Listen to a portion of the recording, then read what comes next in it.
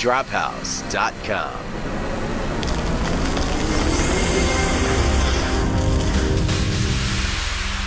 In 14 years, KatManDu served over a million people and hosted some amazing acts. The theme parties set the standard for nightlife not only in the surrounding area, but nationwide. The events, the acts, the people transformed this brick building into an escape. Thursday, January 26th. It's time to say goodbye. The very last happy hour. The very last college night as KatManDu happens this Thursday, January 26th. Doors open at 3 p.m. And we don't stop until 2 a.m. Say goodbye to KatManDu and hello to a whole new experience.